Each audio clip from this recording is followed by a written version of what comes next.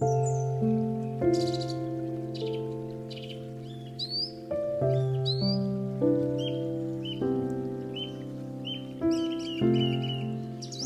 악하고 잔인한 그 니누의 사람들에게 하나님은 구원의 계획을 결정하셨고 요나가 그것에 대해서 노골적으로 반항하고 저항했지만 니누웨를 향한 하나님의 계획을 다 실현하셨고 보여주셨습니다. 이 모든 것을 본 요나가 이제 드디어 폭발하기 시작했습니다. 4장 한번 1절 볼까요 눈으로? 성경에서 기록된 이 매우라는 표현 그 단어의 의미를 살펴보면 큰 악이라는 표현이에요. 큰 악. 큰 악을 가지고 있었다 지금 요나가. 요나가 매우 크게 성냈다라는 말은 요나가 지금 엄청난 악을 품고 성을 내고 있다라고 이야기를 어, 성경에 하고 있다는 거예요. 저 악한 민족에게 구원을 베푸는 건 말도 안 되는 일이야라고 얘기했었던 요나가 그 니느웨와 같은 악한 상태와 똑같은 사람이 되었다는 것을 성경을 통해서 알게 된다는 거죠. 그 악에 사로잡힌 요나가 이제 4장 2절에 가면 하나님을 조롱하는 하나님을 비난하는 말들을 쏟아내기 시작합니다. 그리고 나서 차라리 이럴 거면 나를 죽여 주십시오 라고 얘기해요. 요나가 지금 이렇게 얘기하는 거 하나님한테 죽음은 죽었지 이 사람들 이 민족들 구원받는 거 내가 눈뜨고는 못 보겠습니다 이런 말이에요. 요나가 미치기 시작했어요. 자, 이 정도까지 되면 이 선지자는 어떻게 돼야 돼요? 죽어야 돼요. 죽은 죽는 것이 마땅한 거죠. 그런데 하나님은 요나를 치지 않으셨어요. 벌하지 않으셨어요. 기다려 주셨어요. 오래 참음으로 기다려 주셨어요. 오래 참은 이유가 뭐냐? 고린도전서 13장이 사랑장이라고 하잖아요. 사랑은 뭐뭐하고 사랑은 뭐뭐하고 사랑은 이런 거야라고 얘기했을 때 처음으로 얘기했었던 게 있어요. 사랑은 오래 참고라고 얘기해요. 오래라는 단어의 의미 안에는 길다, 길다 라는 의미가 있어요. 근데 참다라는 의미는 그냥 버틴다라는 의미가 아니라 고통을 참다라는 의미예요. 쉽게 풀어서 얘기하면 사랑은 긴 고통을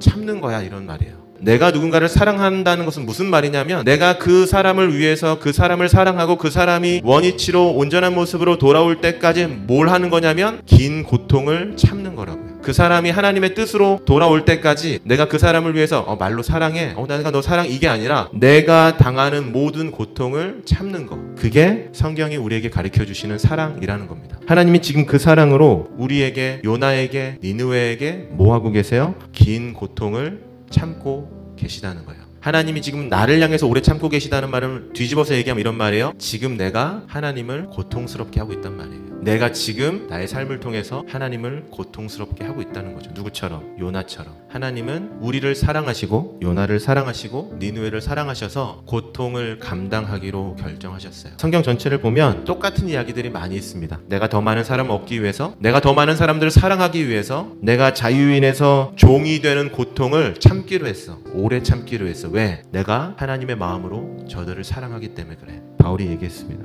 예수님도 똑같은 말씀하셨어요. 왜 예수님께서 십자가에 오르시는 그 길, 그 모든 고통을 참으셨을까? 왜 우리를 향해서 그 십자가 밑에서 조롱하는 사람들을 향해서 오래 참으셨을까? 예수님이 말씀하셨어요. 내가 저들을 사랑해. 라고 말씀하셨어요. 그렇기 때문에 오래 참았다고 성경은 이야기한다는 거예요. 사랑은 내가 누군가를 위해서 모든 고통과 희생을 감수하겠다라는 것을 말하는 거기 때문에 내가 제자를 사랑한다는 말은 말로 축복하는 게 아니라 그 제자가 하나님의 품으로 돌아올 수 있도록 내가 모든 고통을 감수하겠다는 말이기 때문에 내가 친구를 사랑한 다는 말은 그 친구가 하나님의 품으로 돌아올 수 있도록 하나님의 뜻 안으로 돌아올 수 있도록 모든 고통을 내가 감수하겠다는 것을 의미하는 것이기 때문에 예수님께서 우리에게 그것이 사랑의 진정한 의미이기 때문에 예수님께서 십자가 위에서 오래 참는 사랑을 우리에게 보여주셨습니다. 니누웨를 끝까지 사랑하지 않는 요나를 향해서 왜 하나님이 요나와 니누웨에게 오래 참으셨는지를 요나에게 보여주셨고 말씀해주고 계세요. 이 요나에게 보여주셨던 하나님의 사랑을 통해서 우리가 한 가지 알 수 있는 것은 고통 없는 사랑은 결코 사랑이 될 수는 없다는 겁니다.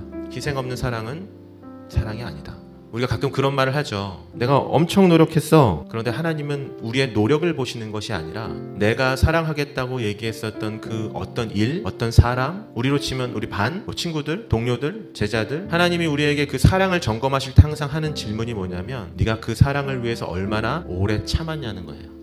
어, 누구처럼 예수 그리스도처럼 바울처럼 요나에게 하셨던 하나님처럼 너가 그들을 사랑했어? 라고 물어보시고 어, 그 정도는 아닌 것 같아요 라고 얘기한다면 하나님이 분명히 우리에게 말씀하신다는 거예요 그거는 사랑이 아니야 그리고 얘기하시죠. 그 사랑이 아니라면 그렇게 십자가에서 바울이 자유인에서 종이 된 것처럼 누군가를 사랑하지 않으면 그 너의 그 사랑으로 너가 말하는 그 사랑으로 사람은 세상은 공동체는 단 하나도 바뀌지 않을 거야. 하나님 오늘 하루 내가 친구를 사랑하고 제자를 사랑하고 누군가를 사랑하는 것 말이 아니라 그 누군가를 위해서 기꺼이 수고를 하는 감당하는 저도 많이 부족하고 많이 힘들지만 왜냐하면 그냥 하루 열심히 일만 하면 하루 금방 가거든요. 솔직히 일하는 건 제일 쉬워요, 여러분. 공부하는 거 동의 안 되겠지만 공부하는 게 제일 쉬울 거예요.